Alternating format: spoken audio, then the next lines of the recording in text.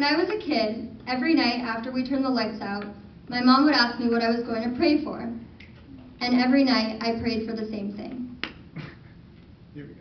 Dear God, please give me a cat. and then my mom would gently suggest that I pray for a cat and something else. Say that my cousin could learn how to walk or that I could overcome my fear of the dentist. But I just really wanted a cat. and I didn't want to complicate the request by throwing in a bunch of other things. you know, it's like when you're writing to Santa, you're supposed to tell him a couple of things you really, really want. Because if you write a giant long list, it's overwhelming for him, and, well, that's another story. We're talking about God. so I started getting pretty disillusioned with God because my constant dedication and diligent prayer had insofar yielded no cats. and this prompted my first deep meditation upon religion. God, why hast thou forsaken me?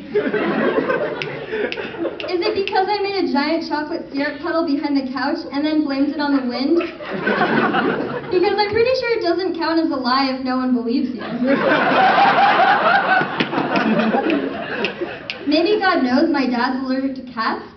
Or what if my mom is secretly plotting against me and praying to not get a cat? Like, what if one person prays for something to happen, but then someone else prays for it to not happen? Who gets their way then? Probably whoever's older, because that's what always seems to happen. I wondered if my mom being Catholic and my dad being Jewish made my prayers not work.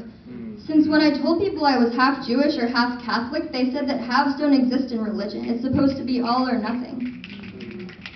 But then we went to some all-inclusive church temple thing, and I paper mache a flower pot and ate some pretzels. So that resolved my soul crushing spiritual anguish. Not. what did help was that God finally answered my prayers.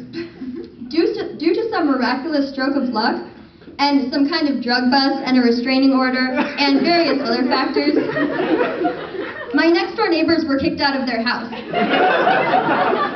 I was actually really sad about this because I liked them a lot, and one of them gave me a broken bicycle once. But the wonderful thing was that they couldn't bring their cats wherever they were going, so they left them for me.